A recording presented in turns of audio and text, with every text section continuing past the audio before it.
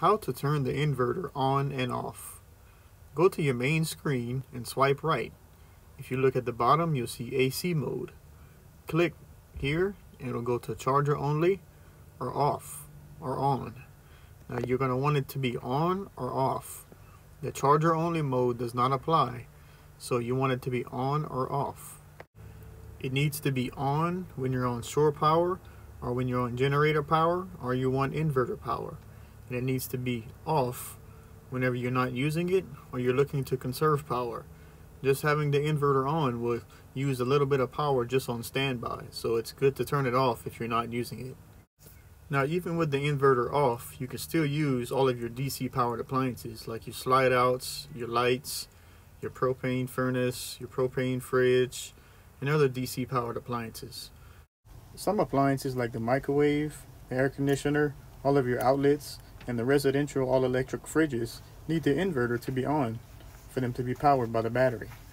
Now these appliances take a lot more power when going through the inverter and this is because the inverter takes battery power, multiplies it times 10 and sends it out to your AC loads in the form of household power.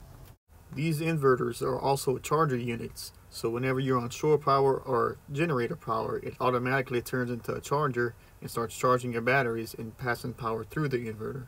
When you unplug from shore power or your generator, it automatically switches to inverter and starts using battery power to power your AC loads. Now before you plug into shore power or generator power, it's very important that you always set the current limit to match what you're plugging into.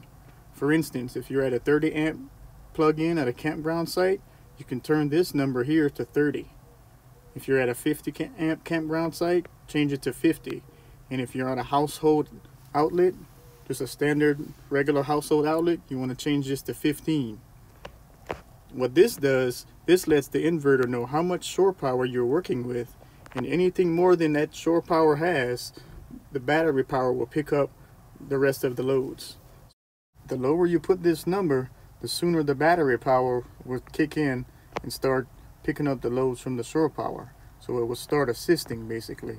So you look on the main screen, it'll say assist mode. Now if you have a generator, you might want to set this a little lower. So if you have a smaller gen, you want to set this to 25. And if you have a larger gen, you want to set this to 45.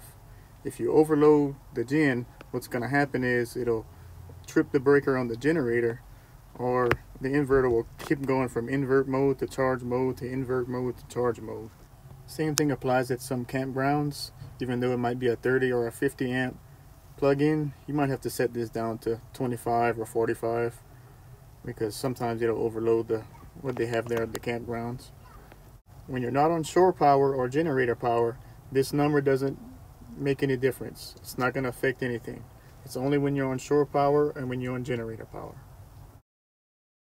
You can tell that your shore power is working by looking at the main screen. It'll look like this. And you'll see shore power in the red box coming in. It represents shore power. And the inverter will either say bulk, absorb, or float.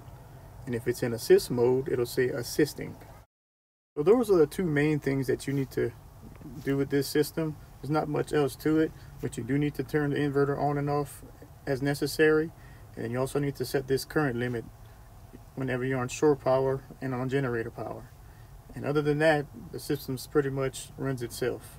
And all you have to do is go to the main screen and watch what's going on with your system and monitor your usage.